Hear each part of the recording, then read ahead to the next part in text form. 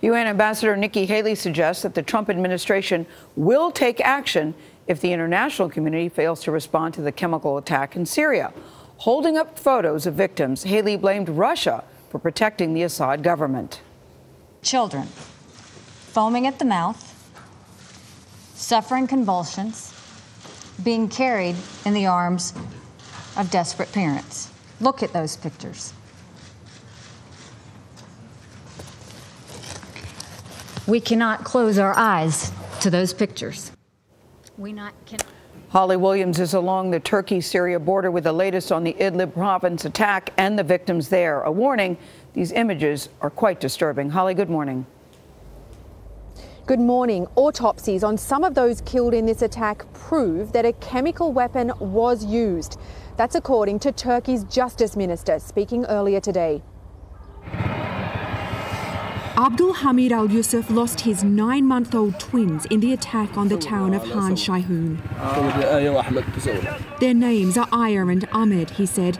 Say goodbye, my loves. He buried them yesterday, along with their mother.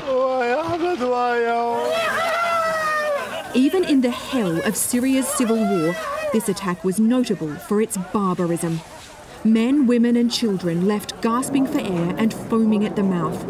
Autopsies on three of those who lost their lives were carried out at this Turkish Forensics Institute, according to local media reports. They died after being ferried into the country for treatment with around 30 others. Survivors who've been brought here to Turkey can be tested for exposure to a chemical agent. But across that border, inside the war zone, gathering evidence is more difficult and more dangerous. In Khan Sheikhoun, the streets are now unnaturally quiet. Two days after this atrocity, many of its residents have fled. But some are taking samples from the scene of the attack. They want to prove what it was that killed their loved ones. Mohammed Abu Joseph says he watched his mother, father, and nephew die. People were screaming, it's a chemical attack, he says. But you don't think about running away. You try to help people and carry them out of there.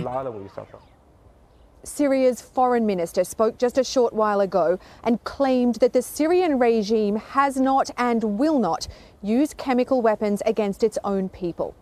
Charlie. Thanks, Holly. Holly Williams in Turkey. Everybody is horrified by those pictures. Right.